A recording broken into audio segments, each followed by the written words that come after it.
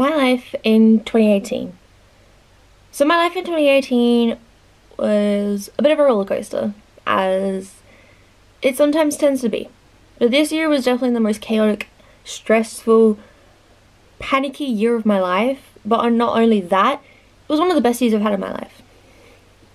So as you know, I got my first ever boyfriend. Sounds like an achievement. Achievement unlocked. Got my first ever boyfriend. And he's amazing and I appreciate him and I love him so much. So if you're watching this, hi Jared, I love you. And you mean the world to me, even if I don't tell you enough. Throughout this year, friendships have been made a lot closer. And I've been forever thankful for those friends. I'm not going to shout them out because they know who they are. Some of these friends, three in particular, you know who you are, have helped me through thick and thin, through my highs and lows, and even when I was at my lowest. And I do want to say thank you for that. On top of having amazing friends and closer friendships with some of them, I also gained a brother this year. And I don't mean like blood type, blood relations, I mean, I call him my brother because he is. He's helped me a lot this year not only with some mental stuff, but with finding out who I am and accepting different things. And he's just, sorry, he just helps me overall. And I really appreciate you, brother. Thank you. This isn't going to be an appreciation video because that's not what my year was. My year wasn't all of these highs.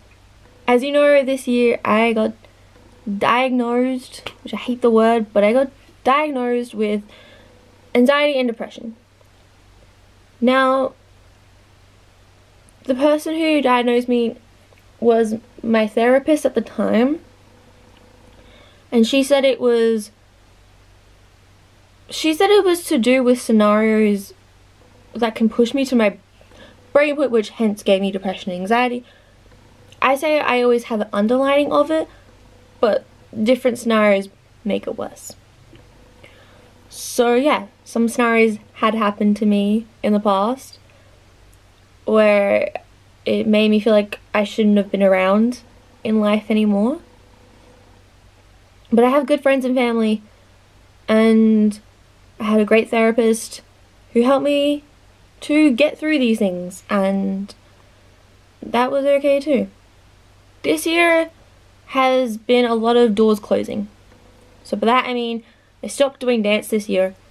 I'd been doing dance for about 13 years and I stopped at the beginning of this year. That was a big chapter in my life that I had finally ended.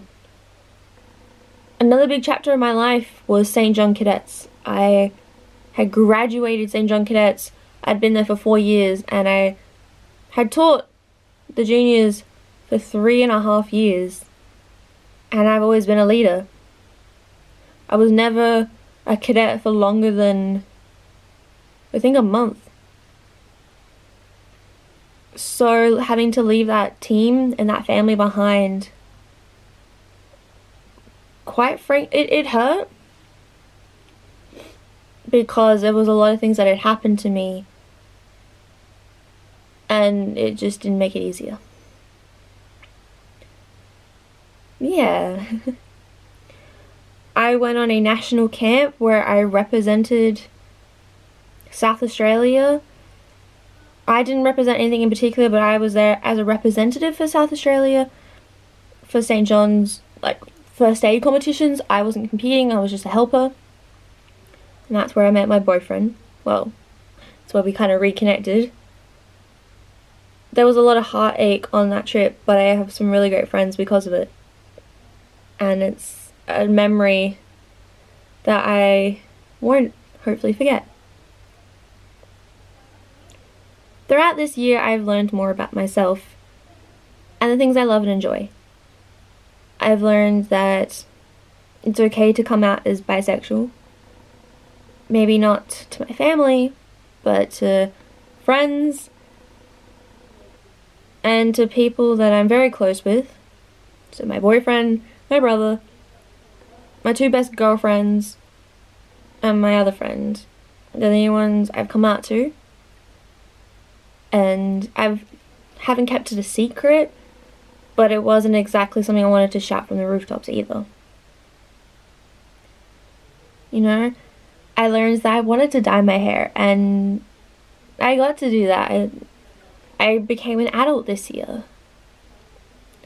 I learned what it means to have someone who isn't a family member to love you and appreciate you and just be there for you. I also learned what it means to have a best friend. A best guy friend, too. I've never had one of those in my life. I've never had a best guy friend. And I have been friends with two of these girls. One girl, I've been friends with her for 13 years. And my other friend, I've been friends with her for about 10 years. This year coming, which is 2019, we would have been friends for 10 years officially. And we're still great, close friends. And I'm so thankful to have them in my life.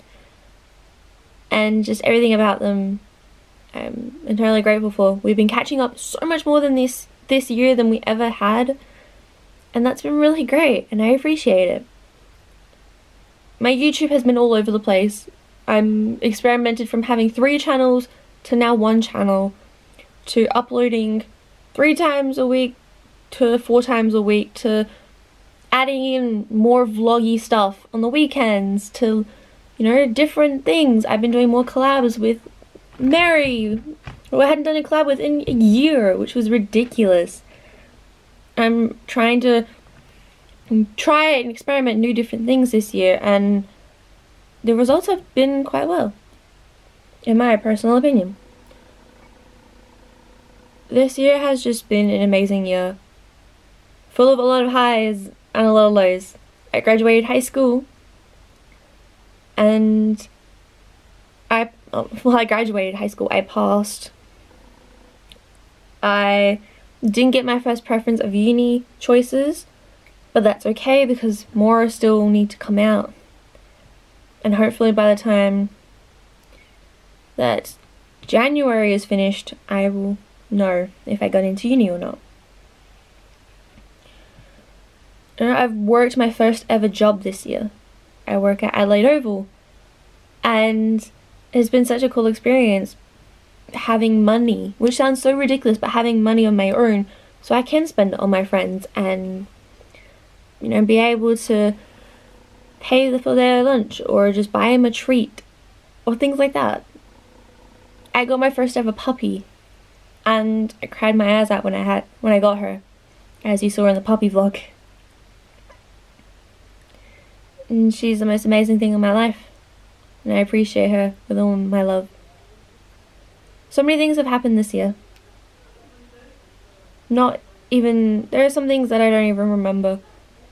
But I know that I have loved every moment of this year. No matter the lows that I went through. No matter all the downs I had. In 2018 was the shittest year of my life, but it was also one of the best years of my life. And I definitely have to thank you guys as well. You guys have been such a huge, huge help throughout this year with everything you do, with all of your support this year, with just with all everything, all the experiments I've been trying. And I had a goal for, set for 2018, which was to improve my mental health. I'm not going to say that that happened, but I'm going to say that it did get better. I went through a lot of things that I never went through before. You know, I had gone through a lot of obstacles and courses and different things with my mental health, but I think at the end of the day, it is better. It is a little bit stronger. And that's all I can hope for. Now, for 2019, what are my goals for 2019? My goals for 2019 are as simple as two things. Number one, work on my physical health. I know I've said this before, but I want to get a little bit stronger. And number two, I just want to be happy. If I can just keep being happy, then I'm going to have a pretty good year. There's some minor little things, of course, that I can go through about 2019 that I would like to do. Like get into university, live that out for the year. oh. sorry. You know, I want to be able to give blood again. I want to maybe even get a tattoo. I don't know. We'll see. But I know one thing for sure. I want to be able to be just keep being happy this year. Keep connecting with my friends. And keep finding out who I am. And what I want as a person.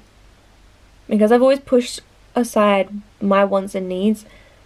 So from 2018 to 2019, this is the year where we figure out what I want. Not what anyone else wants. This is what I want. I want to be fitter and stronger. I want to feel like I look good. And I just want to start doing stuff for me. And that's all I want to say. So that has been my life in 2018. Hope you guys enjoyed it. And tell me your life in 2018.